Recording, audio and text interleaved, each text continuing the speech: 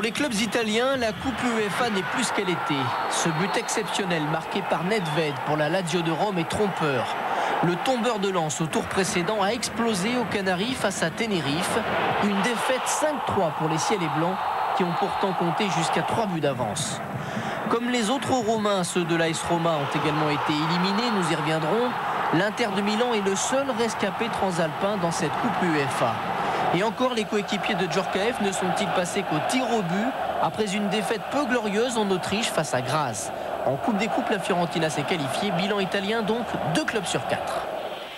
Le principal bénéficiaire de cette semaine, c'est l'Allemagne. Seul Mönchengladbach est passé à la trappe face à Monaco.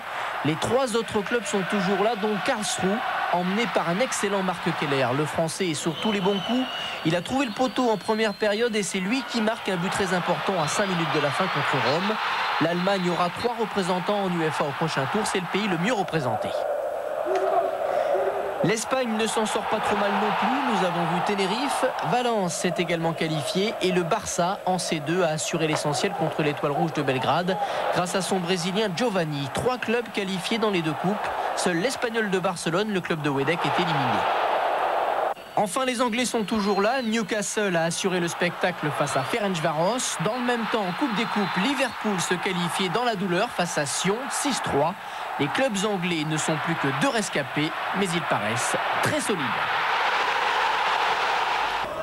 Dans le groupe B, Lodz rencontrait Bucarest. Et regardez ce but, 48e minute. Zerziek comme elle vient. Superbe but polonais. C'est la première victoire des Polonais en Ligue des Champions. Et ce but est absolument magnifique.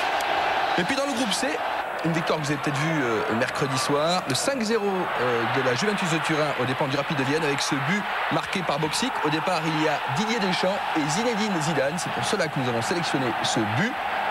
Au départ, deux joueurs français et à l'arrivée, un ancien de Marseille. Zidane, une passe parfaitement ajustée pour Boxic qui trompe Cancel. Score final 5-0.